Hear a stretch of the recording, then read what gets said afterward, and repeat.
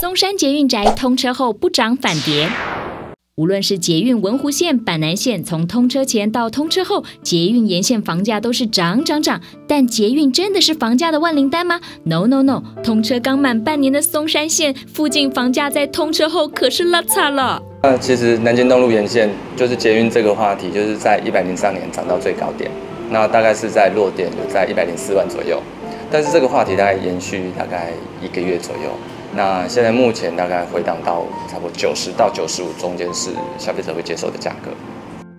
位于松山区塔悠路与通河街口的预售案风韵晴川，刚好介于松山县的南京三明站与松山站之间，基地面积不大，仅有一百五十二平。建筑外观以蛋糕造型设计，深度达两米的阳台花了不少心思设计。我们这边的话呢，我们建筑师呢，他用的石材哦跟强化玻璃的部分。好，去做结合。全市挑高三点六米，基隆河第一排景观是晴川的最大卖点。十六到二十八平的规划，最低总价两千万元有找，但换算下来每平单价也要九十多万元。在近来低迷的买气下，只能等喜欢景观的自助客捧场喽。